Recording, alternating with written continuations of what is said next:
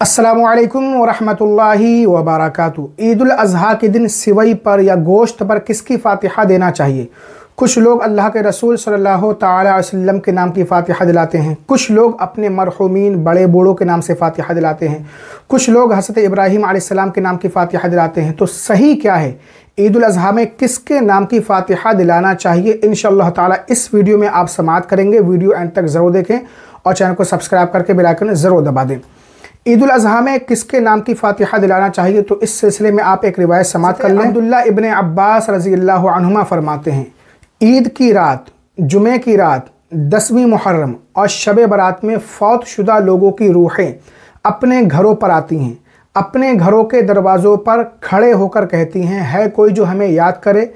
है कोई जो हम पर तरस खाए? है कोई जो हमें इसाले सवाब कर दे? हमें सवाब पहुँचा दे?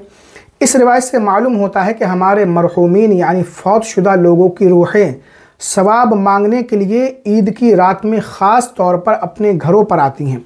इसीलिए ईद के दिन ख़ास तौर से जो हमारे घर से इंतकाल कर चुके हैं, यानी मरहूम वालदेन, दादा, दादी, नाना, नानी वगैरह भाई बहन जो भी मरहूम इंतकाल कर चुके हैं, उनके नाम से भी न्याज़ फ़ातिहा दिलाना चाहिए। और तमाम मोमिन मर्द औरत मुसलमान भाई बहन जो इस दुनिया से पर्दा कर चुके हैं, उनके लिए भी ईसाल सवाब ज़रूर करना चाहिए। हदीस पाक में अल्लाह के रसूल सल्लल्लाहु अलैहि वसल्लम इरशाद फरमाते हैं, जो कोई तमाम मोमिन मर्द और औरतों के लिए दुआ मगफरत करता है, अल्लाह ताला उसके लिए हर मोमिन मर्द औरत के बदले एक नेकी लिख देता है। तो हमें अपने तमाम मरहूम मोमिन भाई बहनों को भी ईद के दिन फातिहा में ज़रूर शामिल करना चाहिए, उन्हें भी ईसाल सवाब करना चाहिए ताकि उनके सदक़े हमें भी लाखों करोड़ों नेकियाँ कमाने का मौका मिल जाए। और फातिहा ईसाल सवाब के ताल्लुक से आप एक असूल और जबता भी समात कर लें।